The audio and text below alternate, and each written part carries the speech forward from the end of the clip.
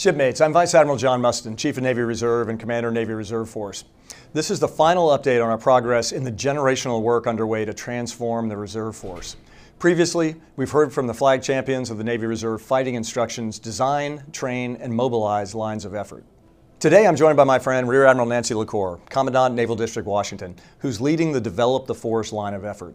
I'm counting on her to drive improvements that foster your continued professional growth, that result in better care for you and your families, and that minimize administrative distractions so you can focus on your wellness and your readiness. Nancy, I know our shipmates are interested in an update on what you and the team have been up to. Over to you. Thank you, CNR.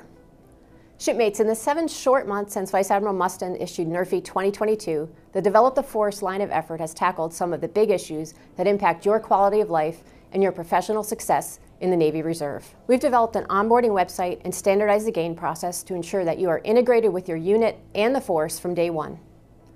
The first ever Navy Reserve Family Connect engaged our sailors and family members to develop effective communication about your needs and challenges, and we've learned a lot from you in that process. We've added maternity leave for SELRES sailors and are piloting a childcare program that will give families the flexibility and support they need to participate and train in their readiness billets. We have expanded the Meritorious Advancement Program and delegated quotas to unit commanders to increase MAP advancements, and we are very excited to offer a new and valuable Enlisted to Officer program to the Reserve Force.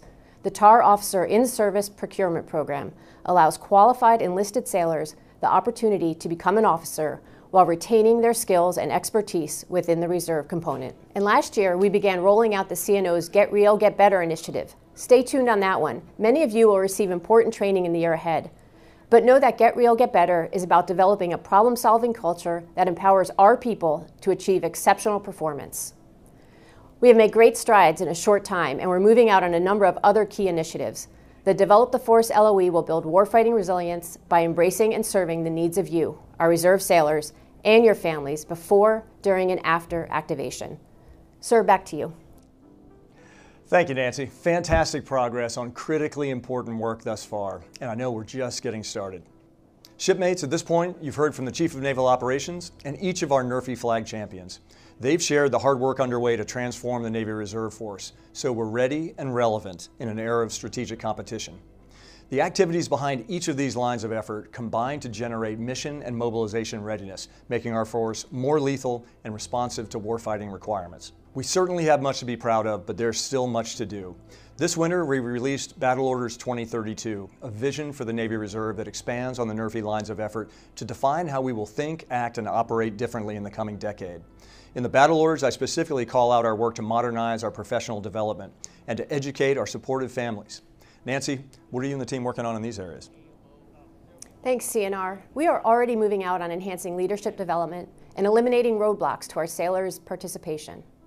We are developing tools and programs to take care of Navy Reserve families, streamlining access to earned benefits and enhancing the ways we care for and enable sailors to maintain health, welfare, and readiness in and out of drilling status. The battle orders chart the course to develop the warfighting primacy of our force in the future Everything we're doing is aligned to that vision. Roger that, Nancy. Superb work from you and the team. Keep up the great work, shipmates. As you've heard, we're moving out on the things that make you a full up round. In return, I'm counting on each of you to know how you factor into our collective warfighting capability. Are you ready? Let's get busy out there.